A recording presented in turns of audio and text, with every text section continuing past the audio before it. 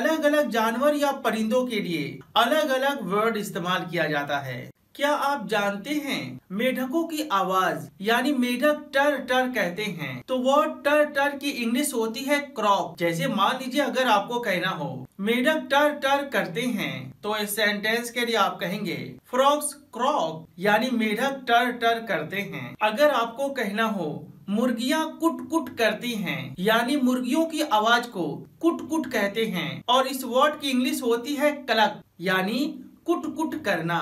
जैसे मान लीजिए अगर आपको कहना हो, मुर्गियाँ कुट कुट करती हैं तो इस सेंटेंस के लिए आप कहेंगे हैंस कलक, यानी मुर्गियाँ कुट कुट करती हैं। अगर आपको कहना हो, उल्लू हूँ हूँ करते हैं, यानी उल्लुओं की आवाज़ जो होती है हूँ हूँ को इंग्लिश में कहते हैं हुट। जैसे मान लीजिए अगर आपको कहना हो, उल्लू हूँ हूँ करते हैं तो इस सेंटेंस के लिए आप कहेंगे, आउल्स हुट यानी उल्लू हूँ हूँ करते हैं। क्या आप जानते हैं गुटुर गु की इंग्लिश क्या होगी? यानी कबूतर की आवाज़ को कहते हैं गुटुर गु और इस वर्ड की इंग्लिश होती है कू। जैसे मान लीजिए अगर आपको कहना हो, कबूतर गुटुर गु करते हैं तो इस सेंटेंस के लिए आप कहेंगे पीजन्स कू, यानी कबूतर गुटुर गु करते हैं। अगर आपको कहना हो, बकरियाँ में में करती हैं या भेड़ में में करते हैं यानी बकरियाँ या भेड़ की आवाज़ के लिए आप कहेंगे ब्लीट जैसे मान लीजिए अगर आपको कहना हो, बकरियाँ मे में करती हैं या भेड़ में में करते हैं तो इस सेंटेंस के लिए आप कहेंगे गोड्स ब्लीट या सिप्स ब्लीड यानी बकरिया या भेड़ में में करते हैं। अगर आपको कहना हो, चिड़िया चह चहाती हैं, यानी चिड़ियाओं के चह चहाने को इंग्लिश में कहते हैं चिर्प तो अगर आपको कहना हो, चिड़ियाएँ चह चहाती हैं तो इस सेंटेंस के लिए आप कहेंगे बर्ड्स चिर्प यानी चिड़ियाएँ चह चहाती हैं।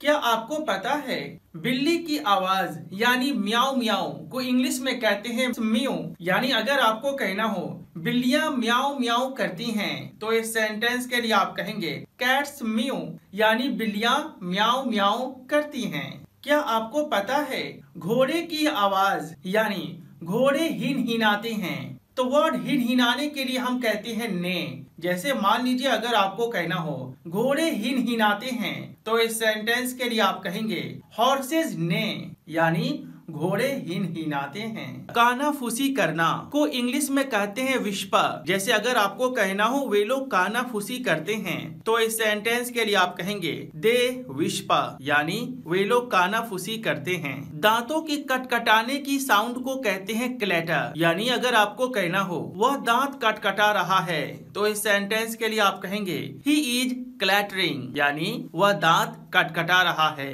क्या आपको पता है, लड़खड़ाना की इंग्लिश होती है स्टेगर यानी अगर आपको कहना हो वह लड़खड़ाती है। तो इस सेंटेंस के लिए आप कहेंगे सी स्टेगर्स यानी वह लड़खड़ाती है। थर्राना को इंग्लिश में कहते हैं ट्रिम्बल जैसे मान लीजिए अगर आपको कहना हो, वह थर्राती है तो इस सेंटेंस के लिए आप कहेंगे सी ट्रिम्बल्स हवा के सनसनाने की आवाज़ को स्विस कहते हैं, यानी अगर आपको कहना हो, हवा सनसना रही रही है। तो इस सेंटेंस के लिए आप कहेंगे द विंड स्विसिंग यानी हवा सनसना रही है। आवाज़ के गूंजने की इंग्लिश होती है इको अगर आपको कहना हो, आवाज़ गूंजती है तो इस सेंटेंस के लिए आप कहेंगे द साउंड इकोज क्या आपको पता है गहने की खनखनाहट को इंग्लिश में कहते हैं टिंकल यानी अगर आपको कहना हो गहने खनखनाते हैं तो इस सेंटेंस के लिए आप कहेंगे द ऑर्नामेंट टिंकल यानी गहने खनखनाते हैं। क्या आप जानते हैं सिक्के की खनखनाहट की आवाज़ को या झनझनाहट की आवाज़ को कहते हैं जिंगल जैसे मान लीजिए अगर आपको कहना हो, सिक्के झंझनाते हैं या सिक्के खनखनाते हैं